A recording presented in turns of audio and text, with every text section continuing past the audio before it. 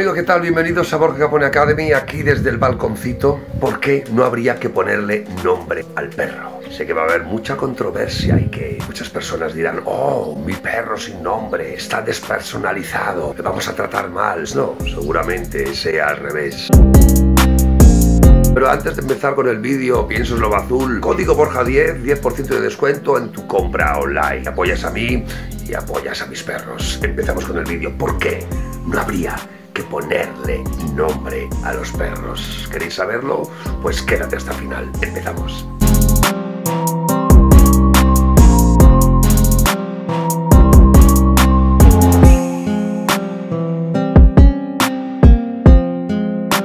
Bueno, esto es muy, es muy sencillo de entender. En el momento que tú piensas que el perro es humano, que le ponemos un nombre, automáticamente vamos a juzgar todas sus acciones. Vamos a pensar que lo hace aposta o que tiene que aprender algo y que es torpe.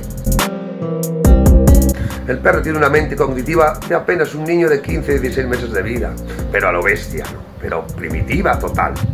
Y con muelas carniceras, es un depredador, es un animal, rompe huesos con sus dientes. Tiene un olfato 400 millones de receptores olfativos.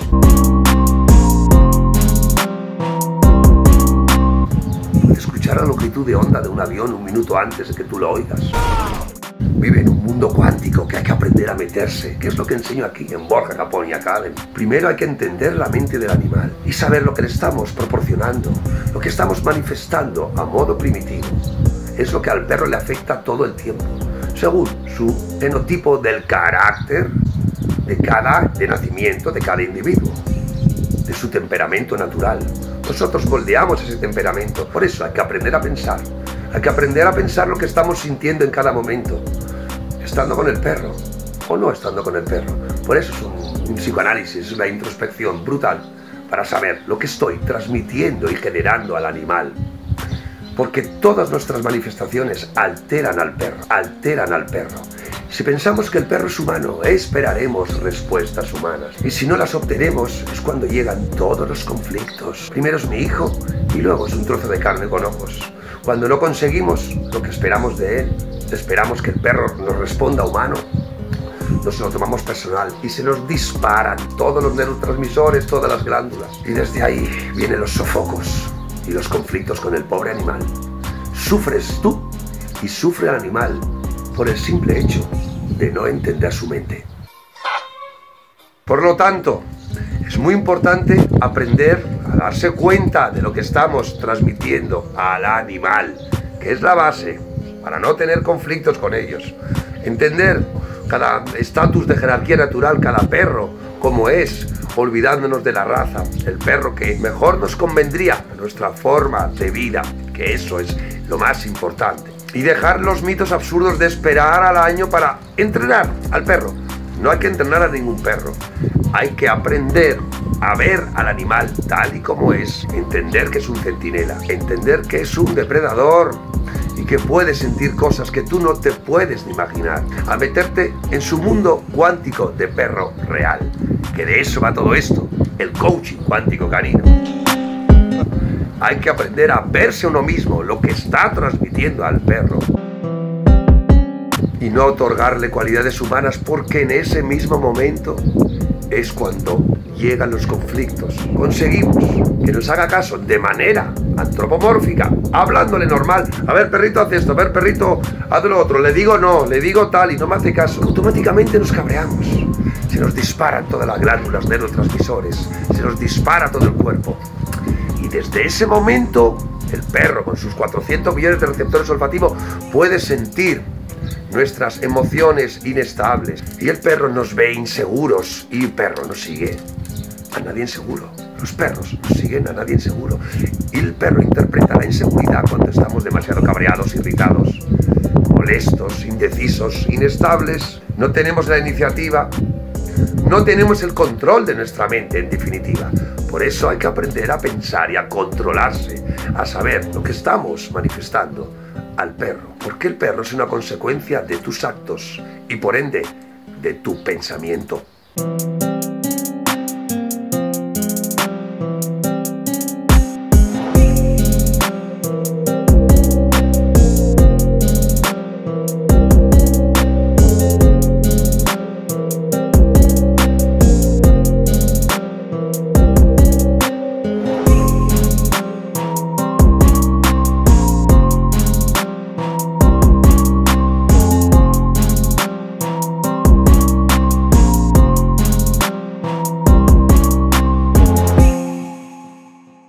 Así que ponerle el nombre al perro puede ser un arma de doble filo brutal. Increíble. Le vamos a caracterizar, le vamos a dar personalidad humana. Y desde ahí llega el problemón. Porque vamos a querer que el perro nos responda como un ser humano. Y pensaremos que nos hace las cosas a posta, que nos rompe las cosas a posta.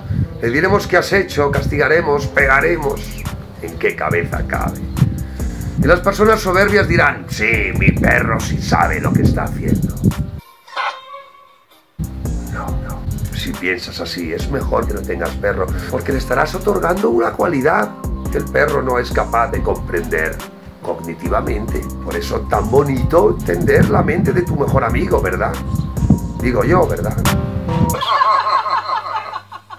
Sería lo más lógico. Por eso hay un tipo de personas arrogantes, soberbias, inseguras, que es muy complicado hacerles ver que tu perro, que su perro es un animal y que no puede razonar, que no puede pensar con la mente abstracta. Esas personas, mejor no tengáis un perro, porque os hacéis daño a vosotras mismas. Y por supuesto, le hacéis un montón de daño a vuestro perro. ¿Qué nos pasa por la mente? ¿Qué nos controla que no vemos al perro animal? Ese es tema para otro vídeo, ¿verdad? Así que, amigas, amigos, pues claro que podéis poner un nombre al perro. Pero lo más importante es aprender su mente de verdad, no improvisarla, no inventarte. Cuando miramos al perro a los ojos, porque nosotros lo miramos a los ojos, ya estamos cayendo en el antropomorfismo. Todo su, su lenguaje corporal lo vamos a identificar y vamos a sentirlo como que es humano. Ese es uno de los de los problemas tan grandes que afecta tantísimo a la comunicación humano-perro, porque le estamos otorgando una cualidad cognitiva de una persona adulta, pensando que el perro sabe que está haciendo algo mal. ¿Cuántas veces lo repito, verdad? A ver si se nos mete ya en la puñetera cabeza. Por eso hay tipo de personas que les cuesta mucho dejarse enseñar.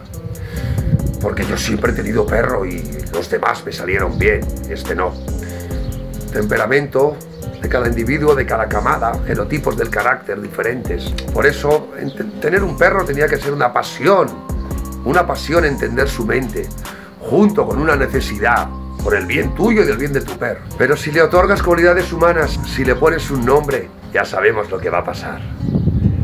Que pensaremos que el perro es humano y esperaremos respuestas humanas. Hay que aprender a moverse, hay que aprender a manejar la correa, a sentir como el perro está sintiendo realmente su mundo verdadero, el más parecido al de un niño de 14, 15 meses de vida. Si quieres a tu perro, aprende su mente, ponle un nombre si quieres. Sin embargo, aprende de perros nada más entra en casa. No esperes a tener los mal llamados problemas de conducta y no digas esta frase absurda de es que como no tengo problemas no voy a aprender nada. Estoy de la palabra problema Hay que aprender de perros porque amas a tu perro. Si quieres a tu perro, aprende su mente, aprende lo que piensa. Y no la abandones. Nos vemos.